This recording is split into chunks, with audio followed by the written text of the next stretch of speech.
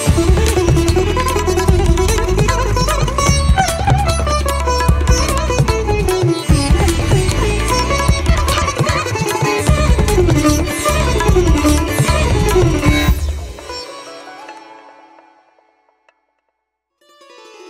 श्री साई राम। साई प्रेम वाणी के हमारे आज के प्रसारण में आप सबका स्वागत है। आज हम आप सबके लिए लेकर आए हैं सुमधुर कार्यक्रमों की अनूठी श्रृंखला। आज के प्रसारण में आप अवतार वाणी के अंतर्गत हमारे साई विषय पर श्री भगवान द्वारा दिए गए एक दिव्य संदेश का एक भाग एवं भजन शिक्षा के अंतर्गत एक भजन गायन सीखेंगे। हम प्रेम अवतार श्री सत्य साई प्रोग्राम के अंतर्गत दिव्य जीवनी सत्यम शिवम सुंदरम पुस्तिका में वर्णित भगवान बाबा के अलौकिक जीवन काल के कुछ प्रसंग के साथ ही साथ, साई का प्यार जीवन आधार कार्यक्रम के अंतर्गत एक मनोरम भेंट वार्ता भी प्रस्तुत करेंगे। तो चलिए, कार्यक्रम का शुभारंभ करते हैं।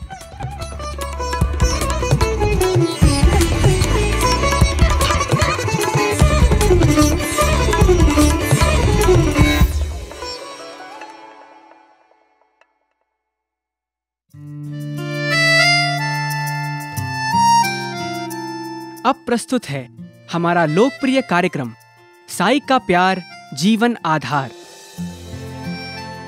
आज इसके अंतर्गत हम भगवान बाबा की पूर्व छात्रा रह चुकी, सुश्री किरण बालाजी अरोड़ा के साथ हुई हमारी भेंट वार्ता का आठवां भाग प्रस्तुत करेंगे। किरण जी, भगवान बाबा के अनंतपुर स्थित महाविद्यालय संकाय के हिंदी विभाग में अपनी सेवाएँ श्री चरणों में अर्पित कर रही हैं।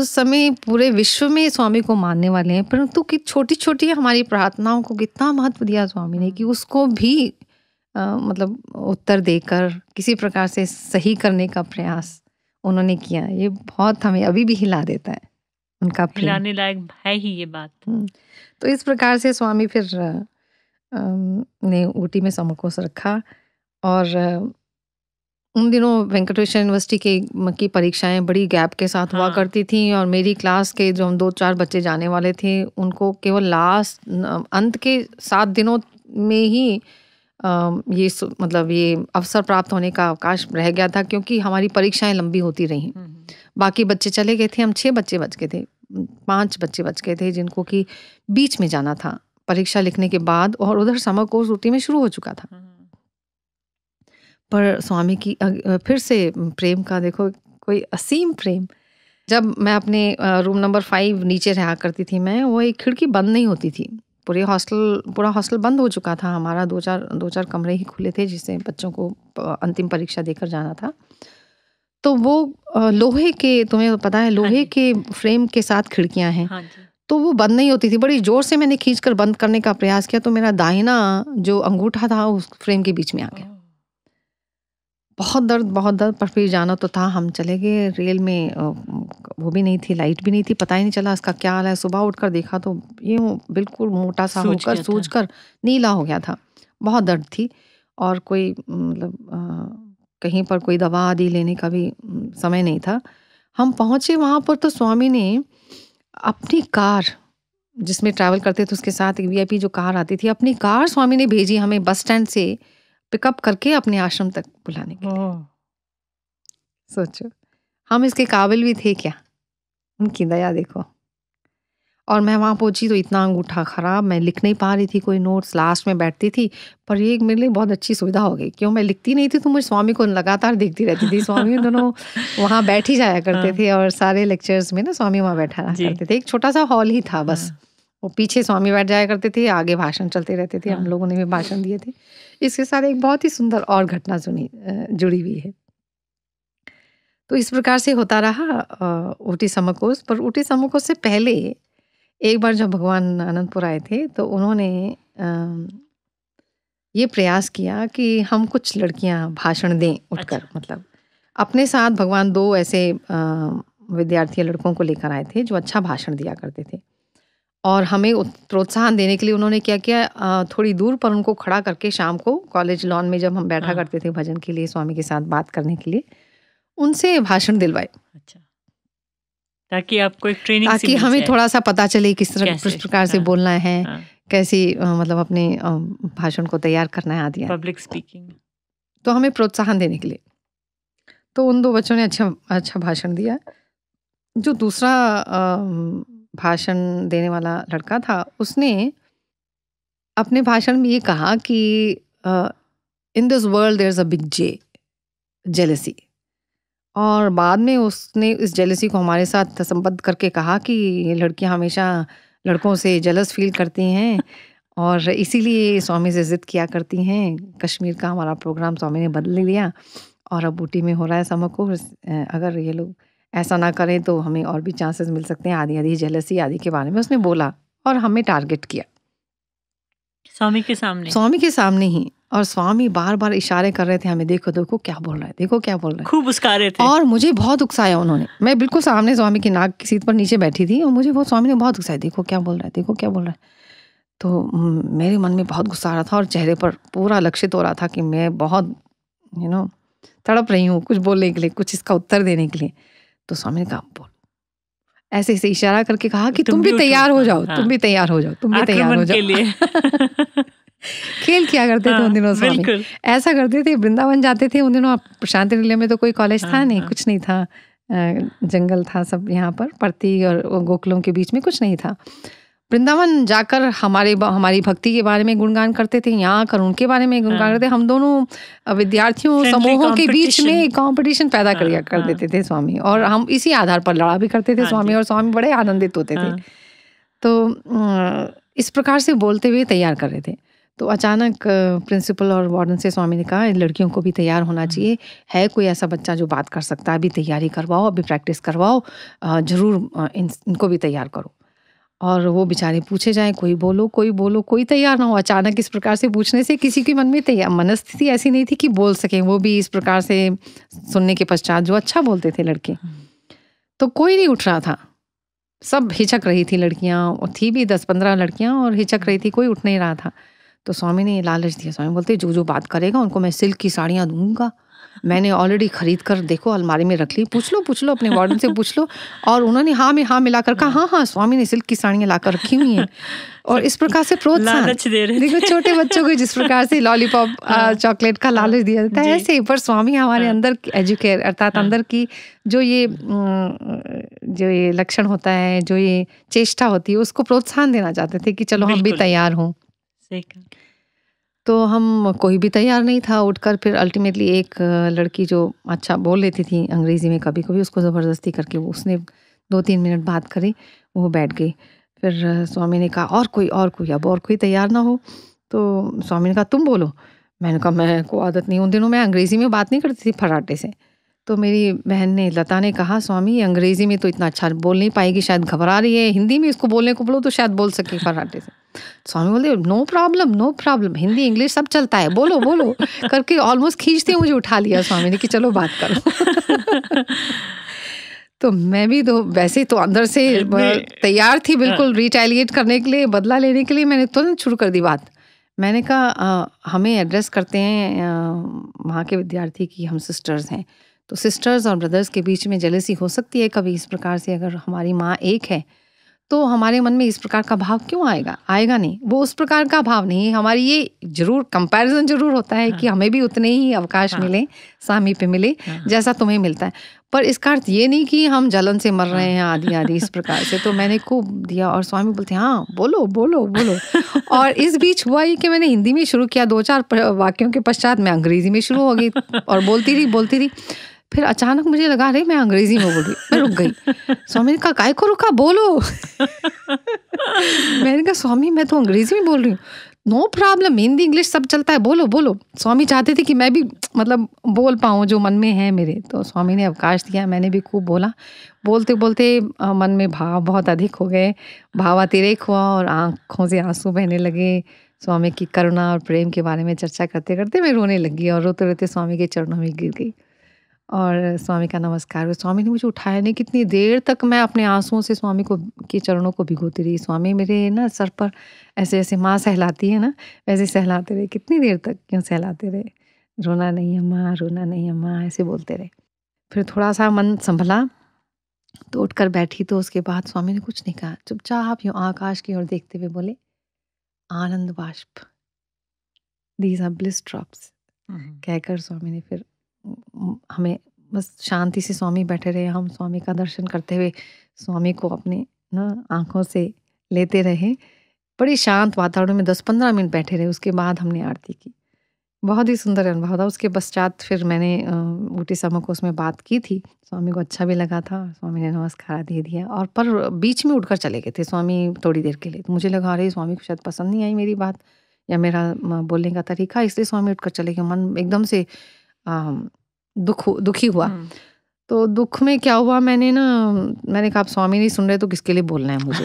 तो मैंने तुरंत शॉर्ट करते करते इतना छोटा कर दिया कि वो पाँच मिनट दस मिनट में ही ख़त्म हो गया मेरा भाषण। और स्वामी भागते हुए नीचे आए। अरे इसे तो जल्दी ख़त्म कर दिया। फिर पहले और बाद में बोलने वाले को स्वामी नमस्कार दिया करते थे। स्वामी ने नमस्कार दिया और बोला क्यों इतना जल्दी ख़त्म कर दिया।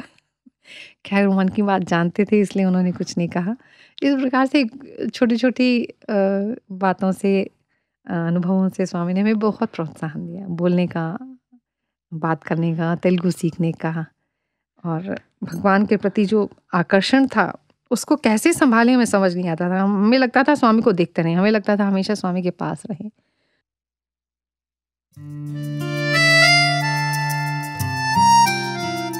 अभी आप सुन रहे थे साई का प्यार जीवन आधार कार्यक्रम। आज इसके अंतर्गत भगवान बाबा के महाविद्यालय के अनंतपुर स्थित संकाय में सेवारत सुश्री किरण बाला अरोरा जी के अनुभवों का आठवां भाग प्रस्तुत किया गया था।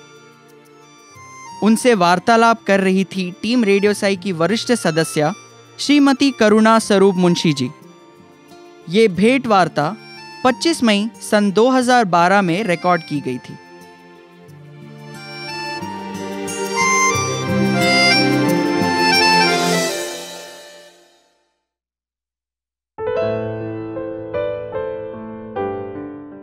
अब प्रस्तुत है अवतार वाणी।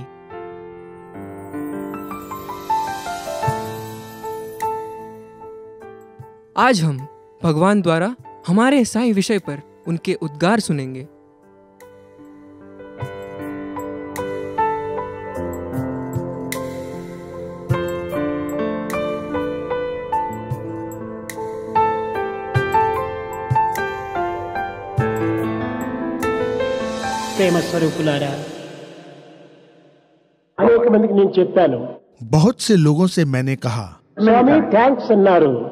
स्वामी थैंक्स बोलते हैं నిన్న చీరలు ఇచ్చినప్పుడు మన మెసెంజర్స్ లోపలనే స్వామి థ్యాంక్స్ అన్నారు मैसेंजर्स ऑफ साई ग्रुप की छात्राओं को साड़ी देते समय उन्होंने थैंक्स स्वामी कहा నేను చెప్పాను I'm not third person I'm second person అన్నారు मैंने कहा मैं कोई बाहरी व्यक्ति नहीं हूँ मैं तुम्हारा अपना ही हूँ థర్డ్ పర్సన్ కి థ్యాంక్స్ చెప్తారు కానీ సెకండ్ పర్సన్ థ్యాంక్స్ ఏం చెప్తారు गैरों से थैंक्स बोलते हैं अपनों से कोई थैंक्स थोड़े ही बोलता है నీ తల్లి నీకు ఇంత అన్నం పెడుతుంది तुम्हारी माँ तुम्हें खाना देती है అమ్మా నీకు థ్యాంక్స్ అని ఎవరు చెప్తారా माँ थैंक यू कोई बोलता है क्या ఎవరో బయట ఇంటికి పోయినప్పుడు అన్నం పెట్టినప్పుడు అమ్మా థ్యాంక్స్ అని చెప్తారు जब दूसरे के घर जाते हैं तो खाना परोसने पर थैंक्स अम्मा बोलते हैं ఐఎమ్ నాట్ అవుట్ సైడర్స్ मैं पराया नहीं हूँ కనుక థ్యాంక్స్ అని ఎవరు చెప్పకండి इसलिए कोई थैंक्स मत बोलो రైట్ టు ఫైట్ చేయండి अधिकार पूर्वक मुझसे बोलो ఆ విధమైనటువంటి దీంతో అటువంటి నా స్వామి నా స్వామి నా స్వామి అని ఆ సొంతంగానే నీవు భావించుకో तब जाके मेरे स्वामी मेरे स्वामी कहते हुए मुझे अधिकार पूर्वक अपना ही समझो అప్పుడే నీకు సర్వ విధములైనటువంటి హక్కులు నీకు చేకూరుతాయి तब तुम्हें सब प्रकार के अधिकार प्राप्त हो जाएंगे కానీ అట్టి హక్కులతో మీరు పోరాటం లేదు लेकिन तुम लोग उन अधिकारों के लिए नहीं लड़ रहे हो మీ భ్రాంతుల చేత మీ సంకల్పాల చేత మీ దుర్బుద్ధుల చేత మీ దురాలోచన చేత మీ దుర్భావన చేత మీరు చింతిస్తున్నారు तुम्हारी भ्रांतियों के कारण तुम्हारे विचारों के कारण तुम्हारी दुर्बुद्धि के कारण तुम्हारी बुरी सोच के कारण तुम्हारी दुर्भावनाओं के कारण तुम चिंताग्रस्त हो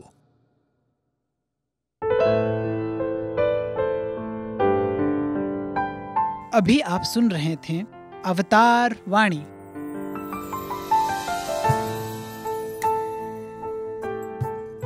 आज आपने श्री भगवान की मधुर वाणी में हमारे साई विषय पर उनके उद्गार सुने।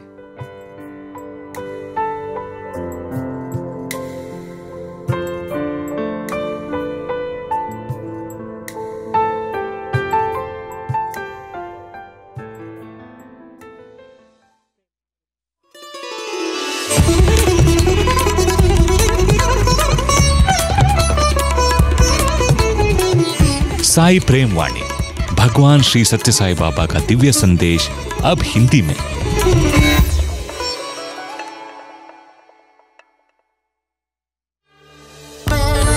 रेडियो साई के हिंदी प्रसारण, साई प्रेम वाणी में।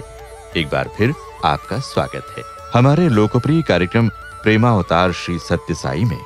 सत्यम शिवम सुंदरम पुस्तक से लिए गए उन अलौकिक प्रसंगों को सुनने जा रहे हैं, जिनमें प्रशांति निलयम के निर्माण के बाद के वर्षों में मनाए जा रहे विभिन्न उत्सवों, कवि सम्मेलनों, संगीत समारोहों और विशेषतः नवरात्रि उत्सव का जीवंत वर्णन किया गया है।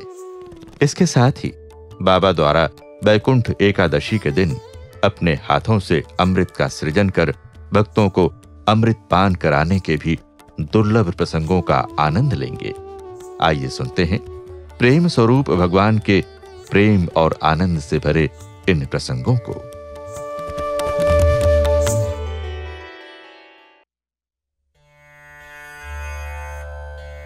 वैकुंठ एकादशी के दिन का महत्व निराला ही है। अनेक वर्षों तक बाबा ने इस दिन अपने हाथों से अमृत का उद्भव किया और उसके बाद सब भक्तों में बांट देते।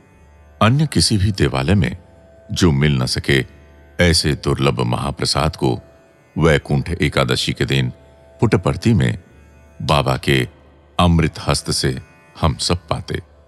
सन उन्नीस सौ अठावन की वैकुंठ एकादशी के दिन बाबा त्रिवेंद्रम में थे। संध्या समय भक्तों के साथ वे वहाँ से सात मील के अंतर पर स्थित कोवलम समुद्र के किनारे बसे एक गाँव में पहुँचे। किनारे किनारे काफ़ी दूर तक चलकर वहाँ की समुद्र तट की रेत पर बैठ गए और भजन करने की आज्ञा दी। स्वयं भी चार पाँच गीत गाए। दस बारह मछुआरे भी वहाँ आकर बैठ गए। बाबा ने रेत से कृष्ण कन्हैया की मुरलीधारी मुद्रा की श्रीगंध से बनाई हुई अत्यंत सुंदर कलाकृति, जो एक मूर्ति थी, वह सृजित की। एक भक्त को राधा कृष्ण की मूर्ति जड़ित एक सोने की अंगूठी निकाल कर दी। फिर भजन हुए। बाबा ज़ोर ज़ोर से ताल दे रहे थे। सभी भक्ति की पुनीत गंगा में डूबे हुए थे। अचानक एक विशेष सुगंध से सब भक्त चेतन हुए। निश्चय ही वो मृत्यु लोक की सुगंध नहीं थी। किसी सुपरिचित पुष्प इत्र की भी वो सुगंध नहीं थी। तब बाबा ने कहा, कहाँ देख रहे हो?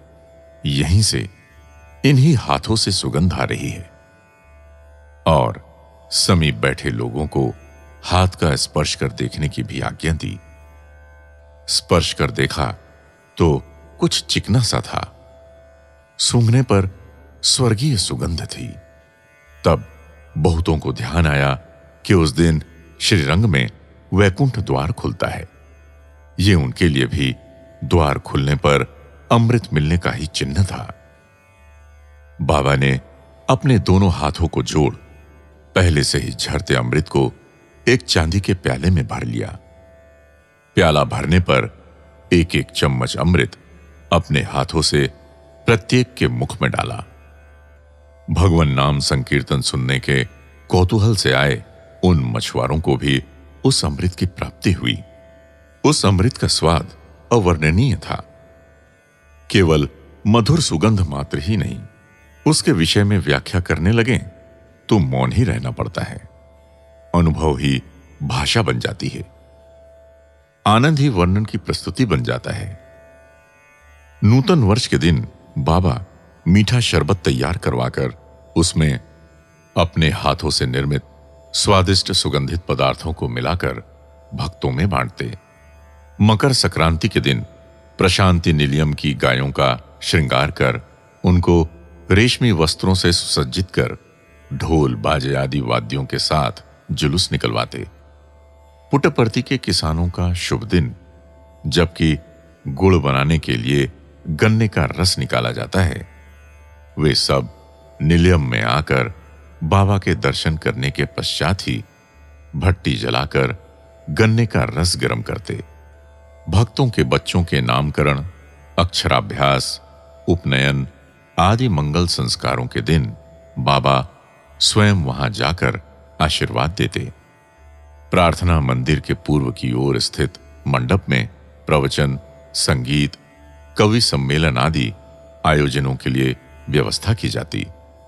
दीपावली के दिन प्रशांति निलियम के लोगों को आनंद ही आनंद रहता। पटाखे की विस्फोट ध्वनि पटाखों के वर्ण विन्यास, फूलों के बाण तथा गेंद आदि के आकाशयान का ही चारों ओर नर्तन दिखाई देता।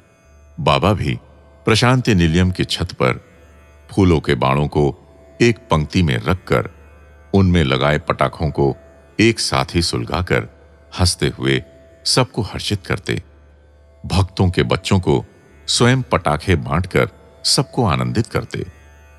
उन दिनों प्रशांति निलियम में प्रतिवर्ष तीन महोत्सव विशेष रूप से मनाए जाते।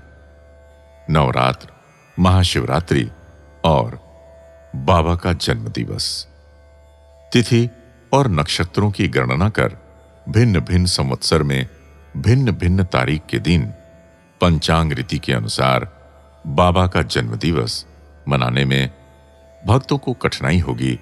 इस कारण प्रतिवर्ष नवंबर की तेईस तारीख को ही जन्मोत्सव मनाया जाता है। नवरात्र का उत्सव अत्यंत वैभवपूर्वक बाबा के सानिध्य में ही मनाया जाता। उन दिनों में प्रतिदिन प्रातः संध्या दोनों समय भजन पूजा आदि होते। दिन के समय पुष्पों से अलंकृत एक फूलों का वाहन जैसा बनाया जाता। वह पालकी में बाबा का जुलूस निकलता। विजयादशमी के दिन राम पूजा यथा विधि की जाती। कुछ ही वर्षों में इस उत्सव ने आदि शक्ति की आराधना का रूप ले लिया। और बाबा ही आदि शक्ति हैं, ये तत्व भक्तों ने भली प्रकार समझ लिया।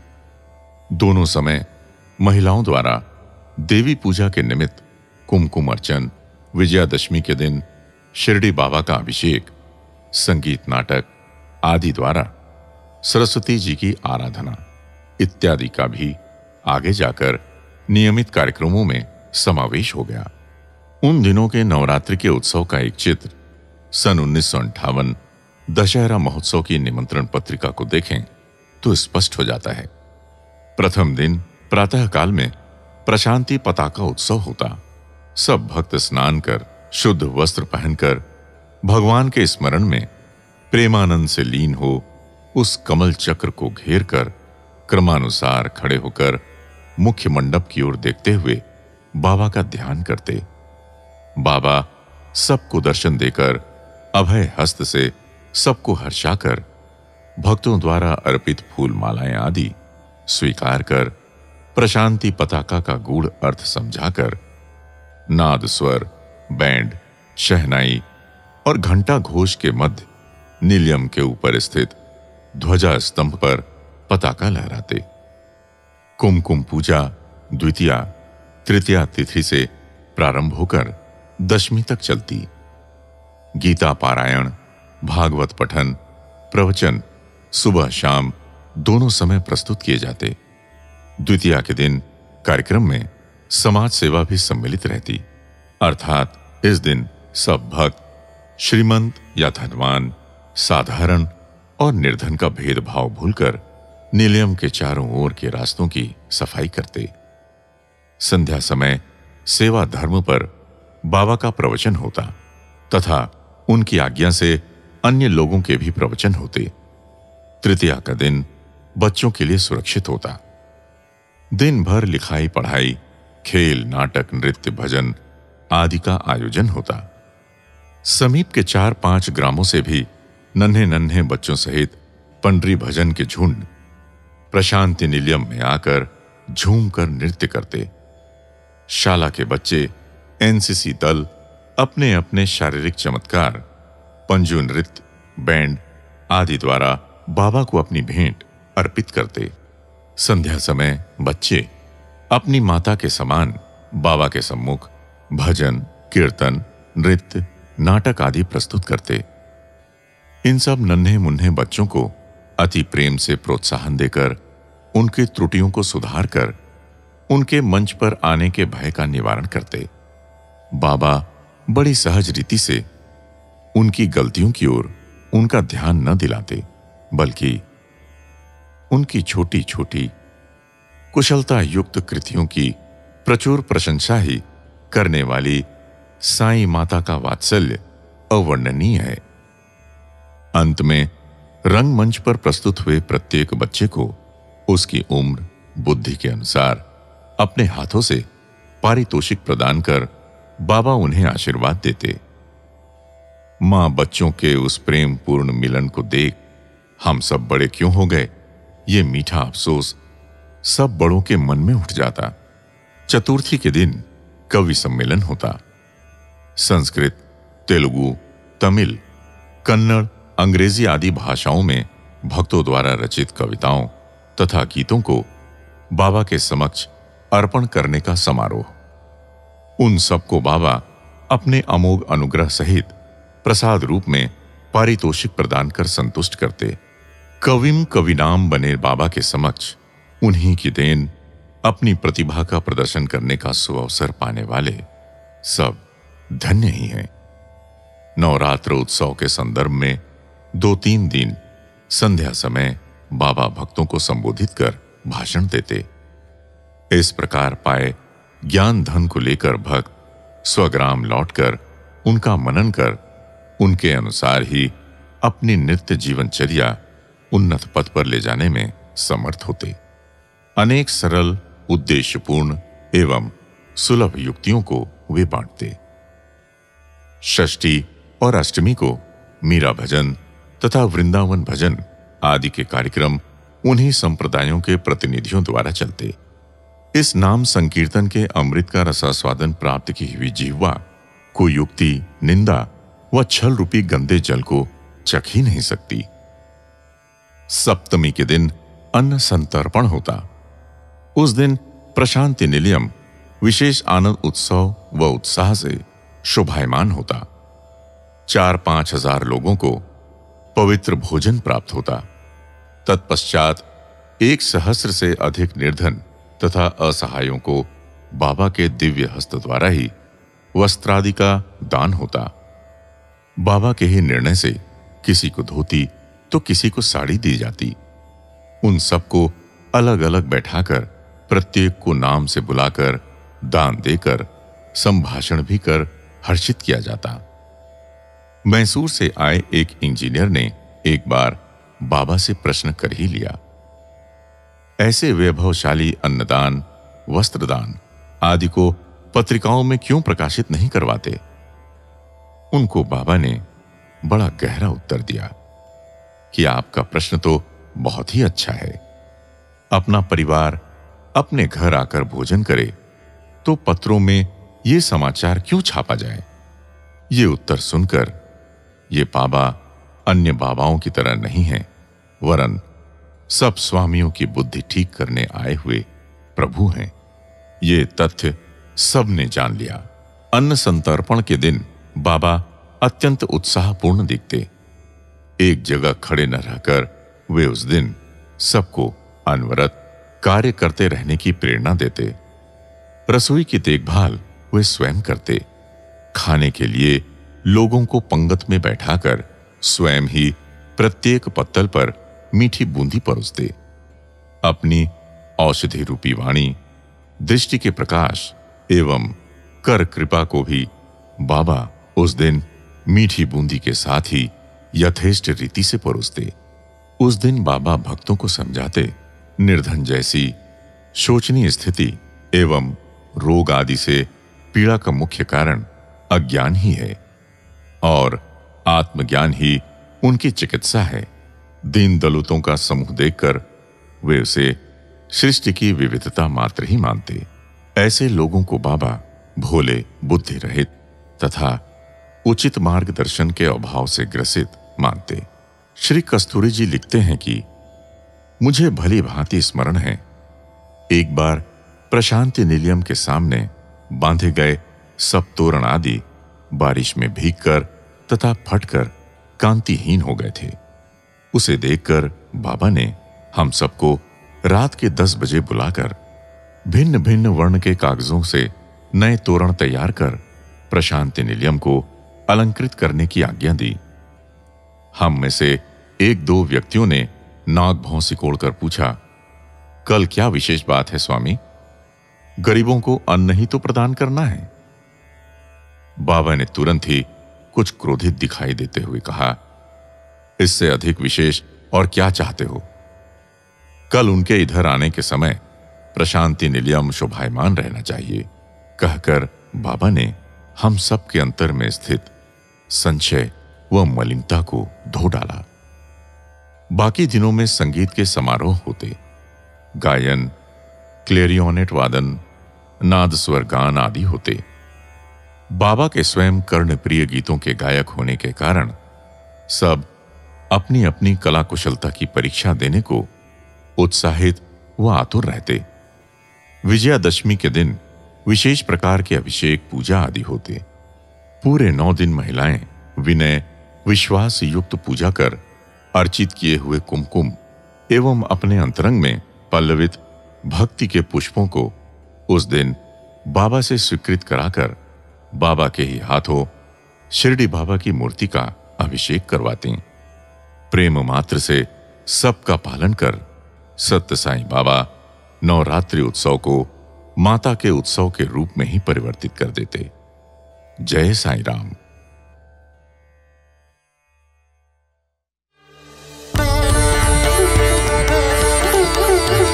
अभी हमने सुना और आनंद लिया उन अविस्मरणीय दिनों का जब उत्सवों और आयोजनों के माध्यम से प्रशांति निलियम न केवल भक्तों के लिए चुंबकीय आकर्षण का केंद्र बन गया, बल्कि भगवान के प्रेम ने भक्तों को बांधकर त्योहारों के उत्साह को भक्ति और श्रद्धा के स्तंभ से जोड़ दिया।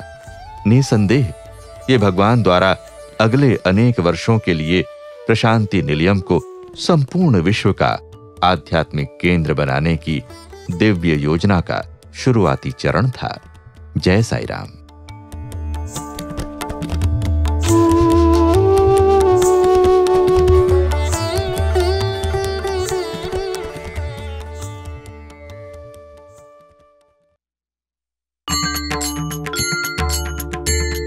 अब प्रस्तुत है हमारा कार्यक्रम, भजन शिक्षा।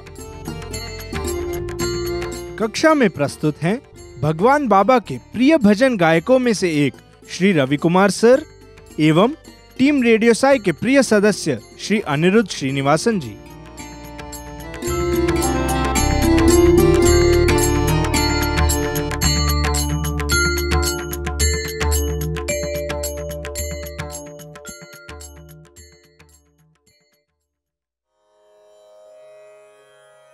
अरुणाचल शिव अरुणाचल शिव अरुणाचल शिव, अरुण शिवा।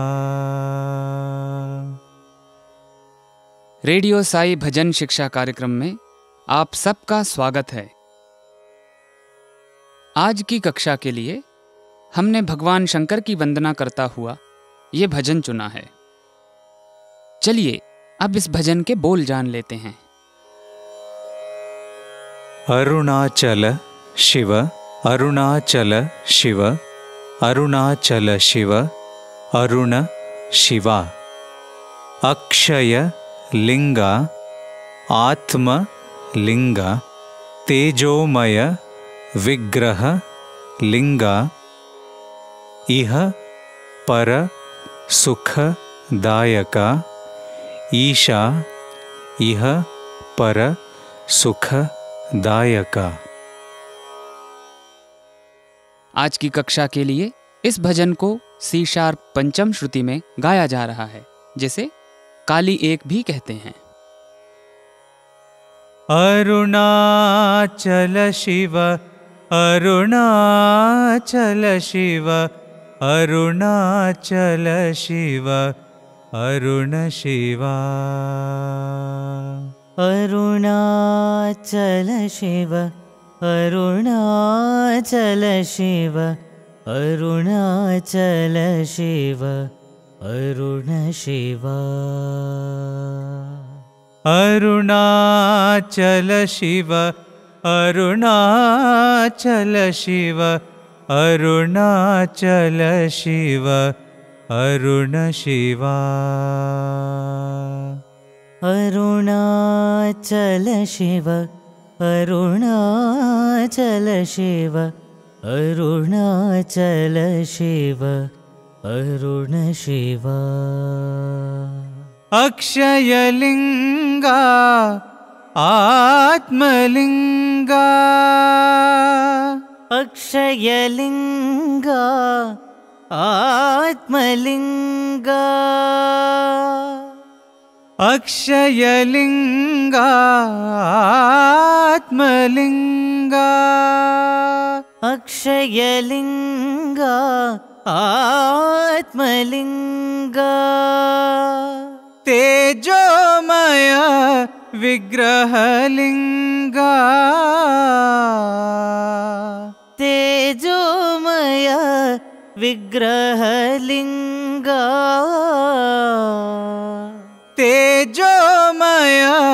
विग्रहलिङ्गा। तेजोमय विग्रहलिङ्गा। इह परसुखदायका। ईशा इह परसुखदायका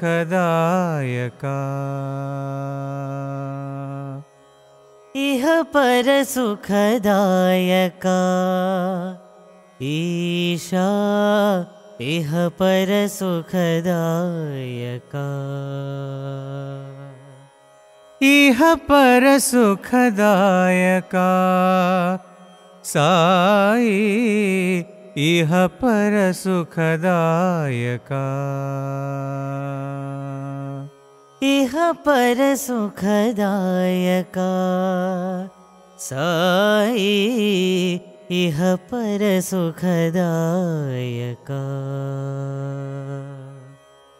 ॐ नमः शिवाय शिवाय नमः।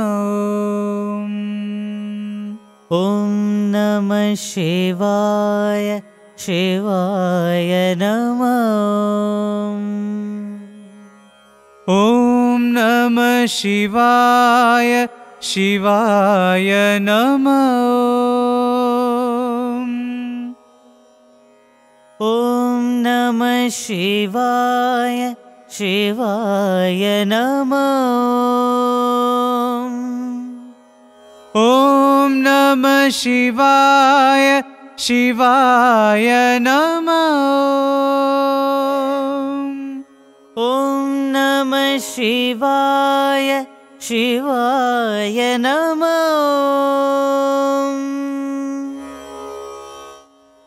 अरुणाचल शिव अरुणाचल शिव अरुणाचल शिव अरुण शिवा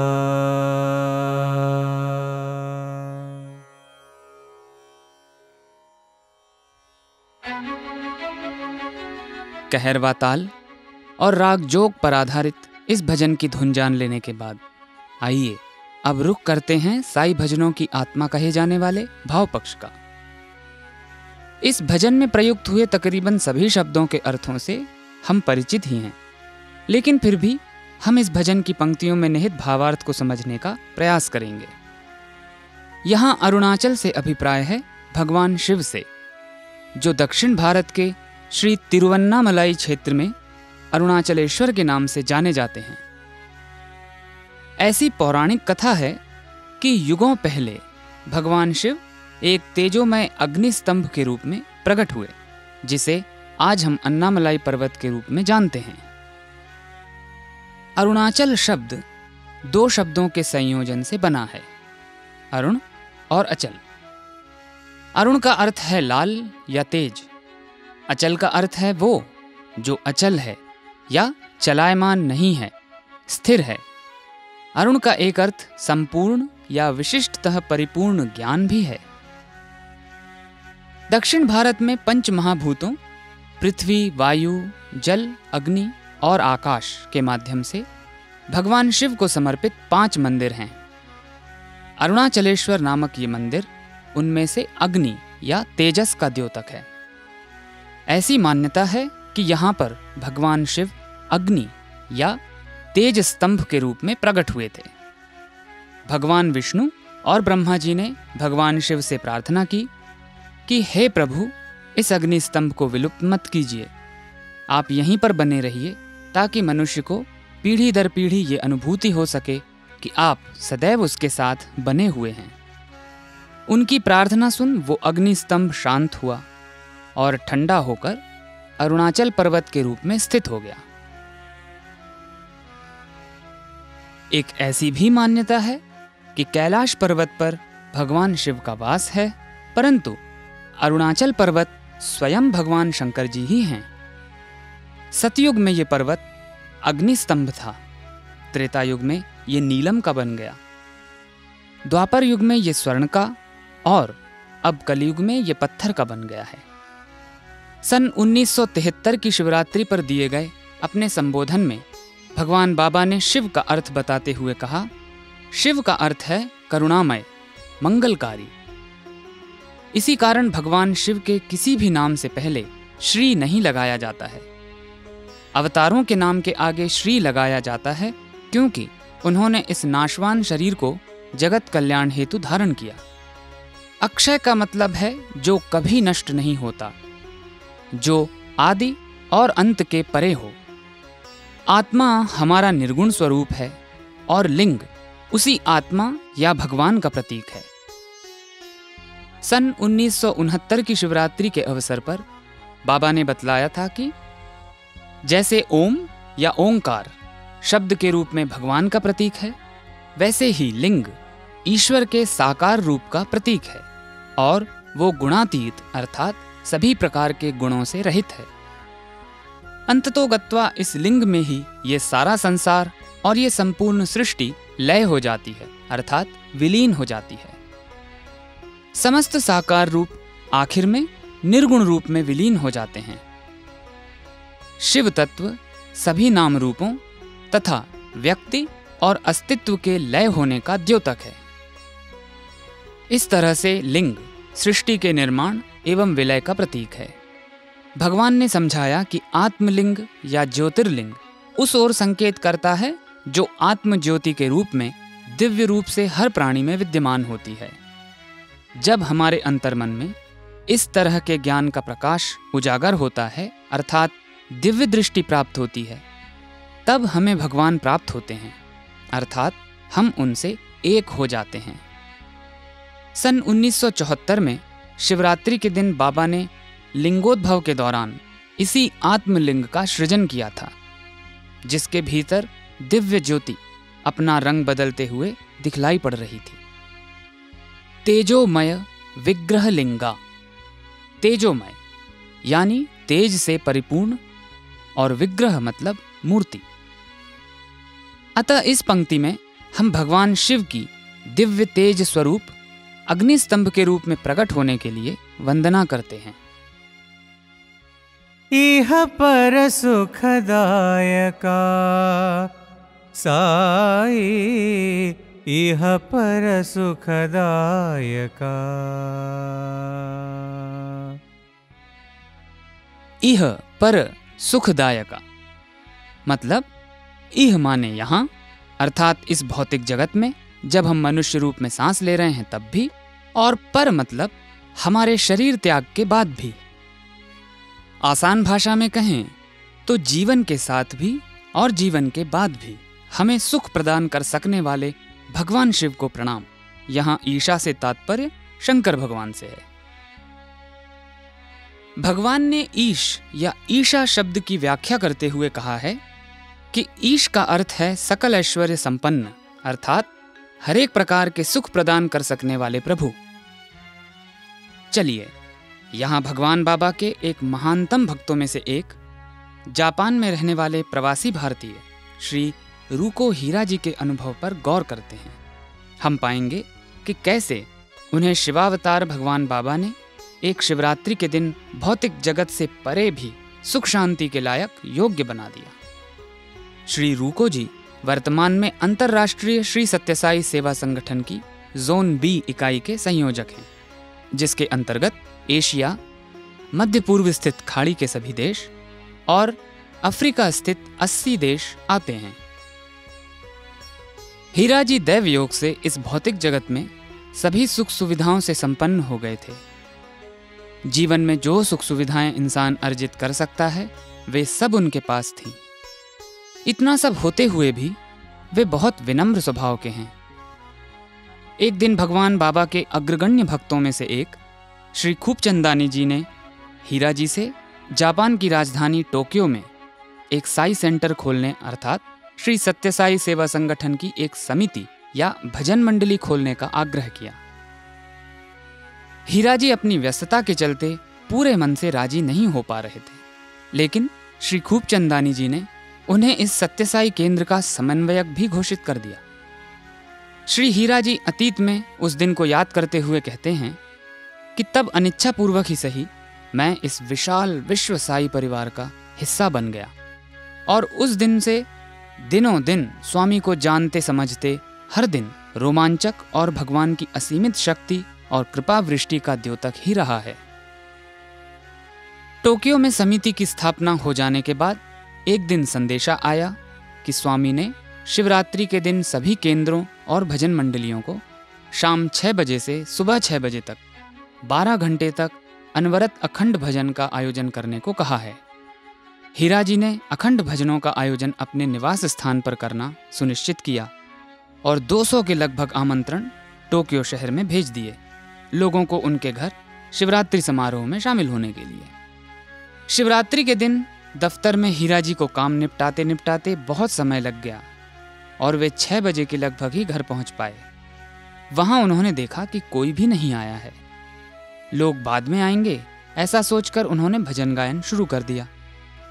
उन्होंने अब तक जीवन में कभी भी भजन नहीं गाया था।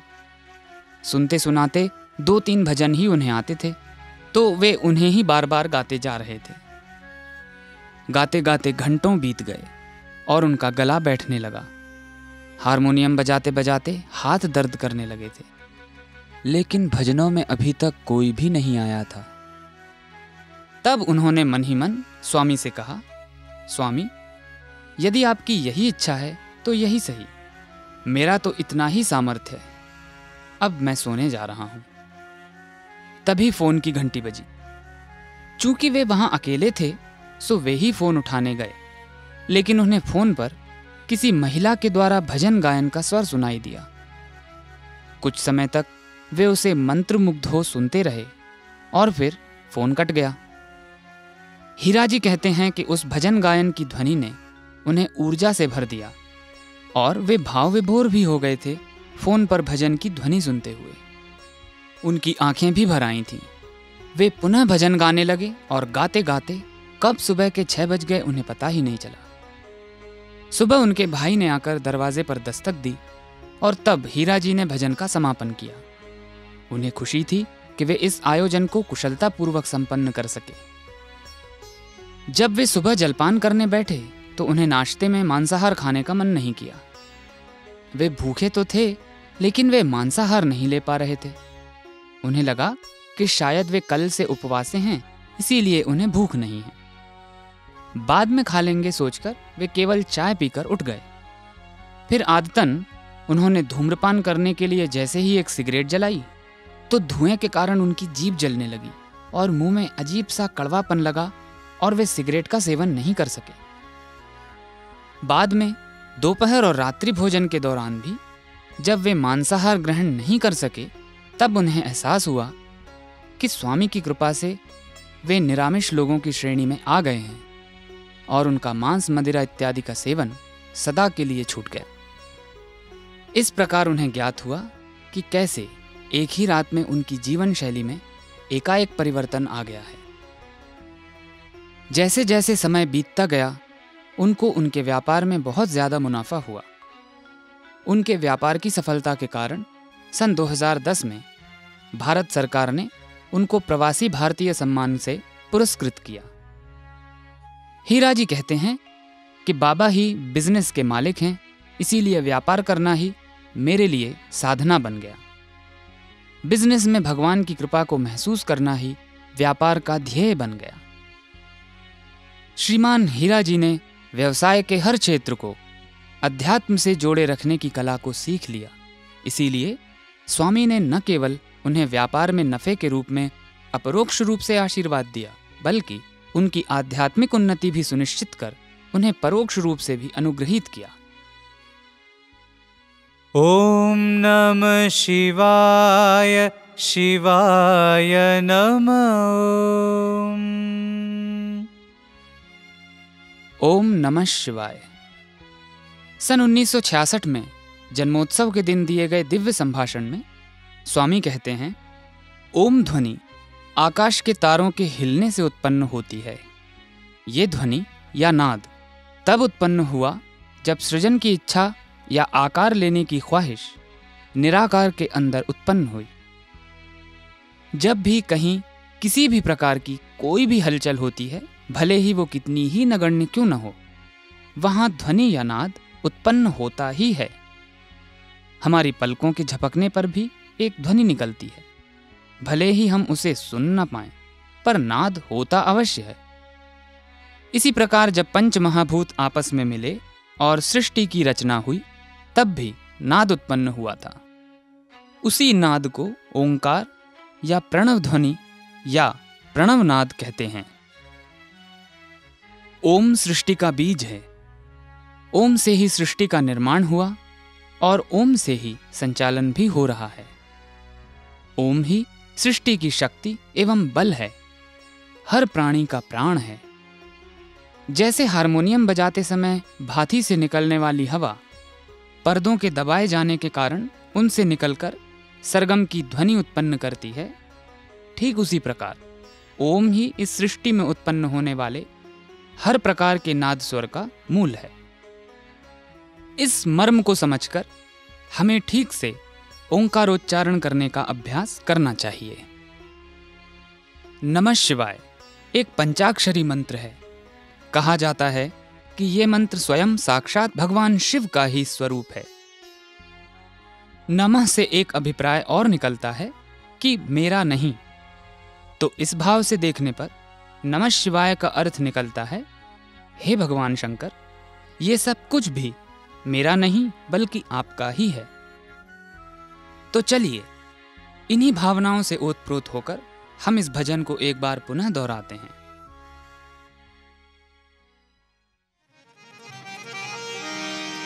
अरुणाचल शिव अरुणाचल शिव अरुणाचल शिव, अरुण शिवा।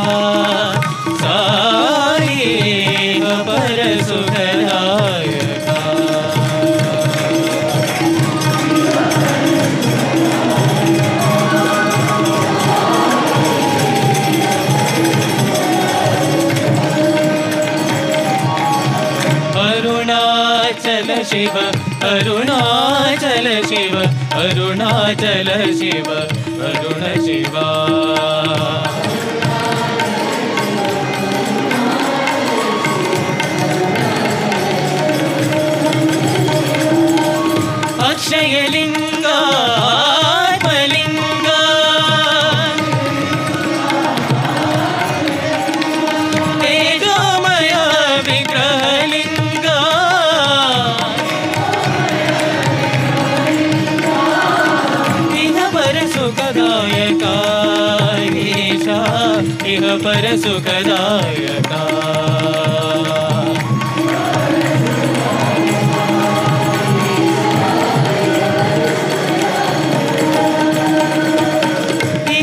यकारयका सुखदायका परसुखदा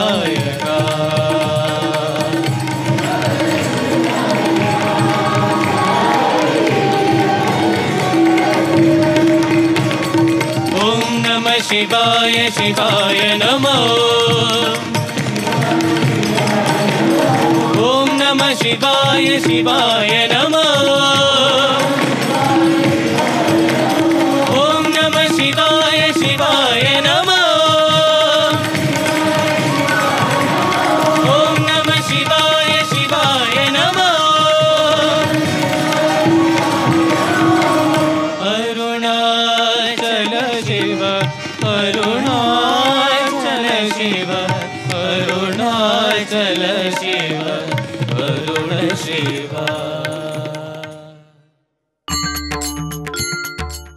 इसी के साथ हमारे आज के भजन प्रशिक्षण के कार्यक्रम का अब समापन होता है।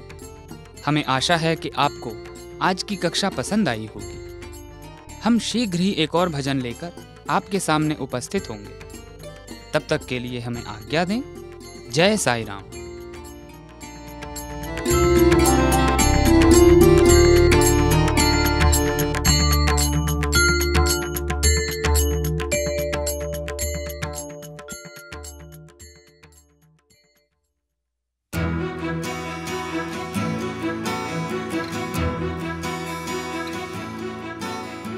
इसी के साथ हमारे साई प्रेम वाणी कार्यक्रम का समापन होता है। उम्मीद है हमारा आज का कार्यक्रम आपको पसंद आया होगा। अपने सुझावों को हम तक ईमेल या व्हाट्सएप द्वारा ज़रूर भेजें। हमारा पता है listener at radio Sai dot O R G L I S T E N E R at the rate radio Sai dot O R G एवं हमारा व्हाट्सएप नंबर है nine three nine three two five eight two five eight तिरानवे तिरानवे दो सौ अट्ठावन दो सौ अट्ठावन।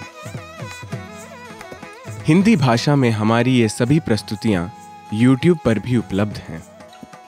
इन्हें वहाँ देखने सुनने के लिए हमारे YouTube channel radio Sai Hindi को सब्सक्राइब करें और कमेंट बॉक्स में अपने सुझाव देना ना भूलें। हमारी वेबसाइट पर हमारे कार्यक्रमों को अपनी इच्छानुसार सुनने के लिए आप radio Sai dot O R G slash Hindi पर इनको डाउनलोड भी कर सकते हैं। फूल तो बहुत हैं बगीचे में पर गुलाब की बात अलग है। जिंदगियाँ तो बहुत मिलेंगी शोर मचाने को पर साई की आवाज़ बनने में बात अलग है। भगवान के चरणों में हमारी श्रद्धा और भक्ति दिन प्रतिदिन बढ़ती जाए। इसी प्रार्थना के साथ हम साई प्रेम वाणी को विराम देते हैं। धन्यवाद। जय साई राम